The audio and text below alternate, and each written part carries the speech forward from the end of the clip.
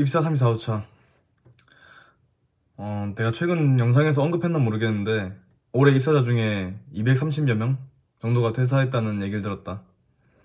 아마 인사가 높으신 분께서 말씀하신 거니 신뢰성은 확실한 것 같다. 아마 대부분의 퇴사자들이 그렇듯이 이 단순 반복 노동 업무를 얼마나 해야 될지 모른다는 그런 두려움, 실망감이 컸던 것 같다. 내가 이제 한 반년에서 7개월, 8개월 차에 접어들면서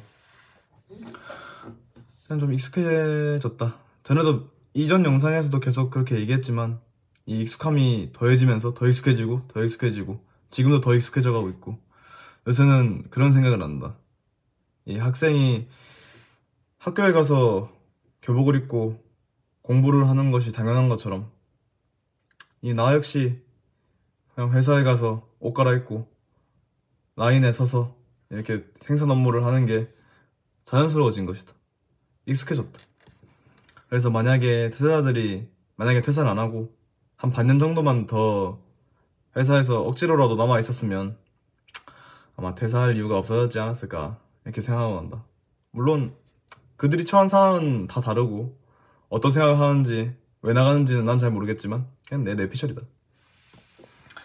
요새는 이 손목을 다쳐가지고 운동하다가 종종 책을 보곤 한다. 이 책을 보면 뭔가 내 이 똑같은 톱니바퀴 같은 이 쳇바퀴 같은 내 일상 속에 일상 속에서 좀 탈출하는 느낌? 뭐 도피하는 느낌? 아니면 내가 발전한다는 그런 성취감을 골고루 느낄 수 있다. 음, 특히 자기개발서 같은 걸 읽으면 내가 앞으로 부자가 될 상상을 하는 게 아니라 부자가 될 계획을 세운다. 특히 책을 보면 볼수록 그 계획이 좀 더 구체화되고 실현 가능한 방향으로 바뀌어 가고 있다는 걸 느낀다.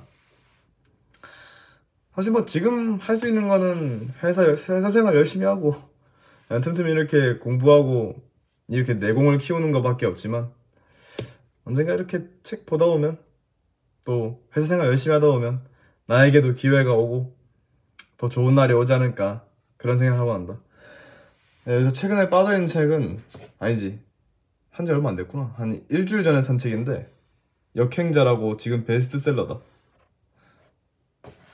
이 어떤 인물이 좌청이라는 저자가 자기가 이 뭐랄까 경제적 자유를 누리게 되는 그런 얘기를 하면서 사람이 어떻게 하면 더 효율적으로 움직일 수 있느냐 어떻게 하면 더 발전할 수 있느냐라는 걸 이렇게 풀어준 책인데 거기서 하루에 책을 2시간 정도 보고 2시간 정도 글을 쓰는 게 엄청나게 효과가 좋다고 얘기한다.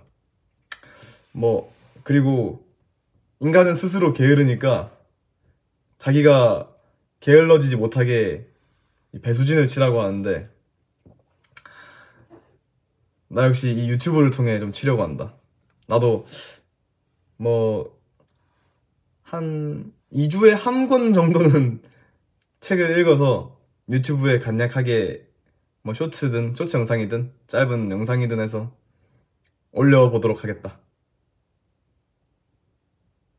어떻게 끝내지?